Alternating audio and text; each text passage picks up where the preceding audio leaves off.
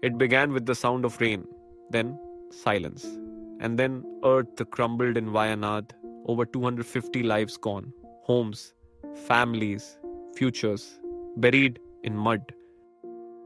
Yes, it rained 572 millimeters in 48 hours, but the roots of this disaster run deeper. Deforestation, unregulated plantations, shallow rooted tea and coffee crops, all in a fragile ecosystem like the Western Ghats.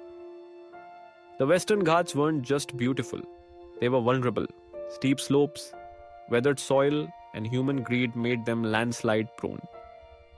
Reports like the Madhav Gadgil and Kasturirangan committees warned us in 2011 and 2013, but we ignored them. Villages like Chooralmala and Mundakkai were wiped off the map. Families lost everything. Bridges collapsed, roads vanished, thousands were displaced, and over 200 crore in damages were recorded.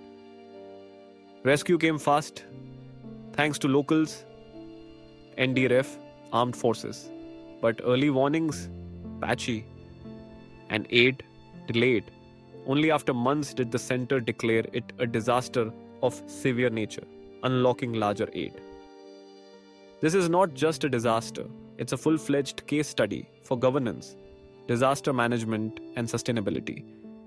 Think why were early warnings ignored? Why weren't uh, landslide prone zones demarcated? What is the cost of development without planning?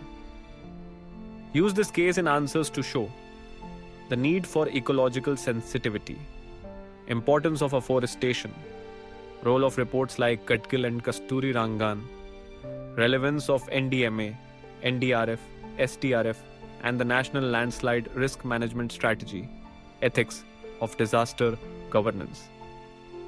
For future administrators, this is a reminder nature whispers before it screams. And in Wayanad, it screamed. Will we listen before the next landslide.